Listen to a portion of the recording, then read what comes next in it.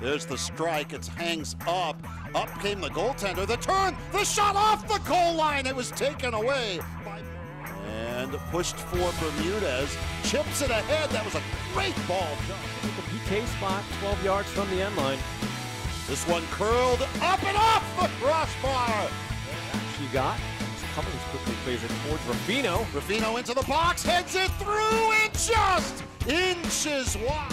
Turns, gets herself square, looking to set, drives a shot. It's saved by Guerrero Martinez. Carchio, the restart, free kick, the drive, and the score! Abby Carchio bounces one through, and in the 45th minute, the Bears have a 1 0 lead.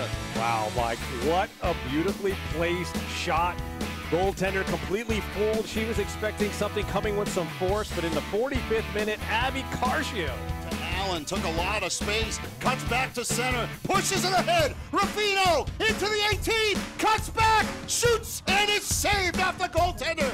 Ruffino in transition, working right to left, comes back to center. Bears have numbers. Myers, great ball, catches Myers. Myers into the 18, and the transition by Ruffino. A perfect, perfect ball for Claire Myers. And the Bears have a 2-1 lead. That, Mike, is a counterattack. And the Bears have won their 2019 season opener, a 2-1 decision over a solid Hofstra Pride club. Yeah, really a quality win here for the Bears.